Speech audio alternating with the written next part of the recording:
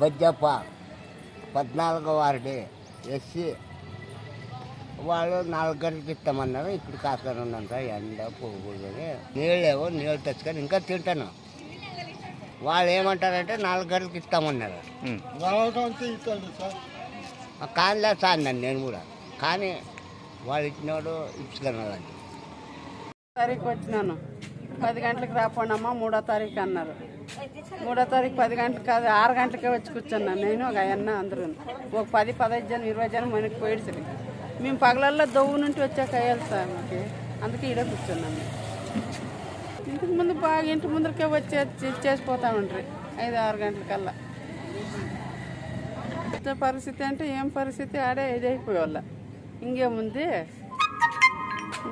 మాకు వచ్చి ఇస్తే మేము సార్. మరి ఇంటికి వచ్చే ఆశ్రమం నుంచి ఇక్కడికి రావాలంటే ఇబ్బంది అవుతుంది.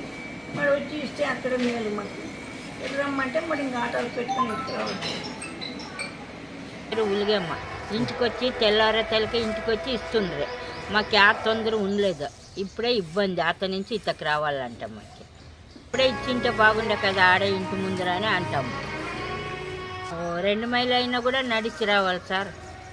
మేము మళ్ళీ పింఛన్ ఎక్కడ ఇస్తారో అక్కడికి రావాలి మళ్ళీ వచ్చినాము మాకు ఇంటి ముందర ఇచ్చేటట్లు చేస్తే బాగుంటుంది. ఇలా మాకు మునిపే బాగుందా సార్? లేపిచ్చి తీసుకుంటా సార్? జగనే బాగుందా సార్? చంద్రబాబు వద్దు సార్ అంతే.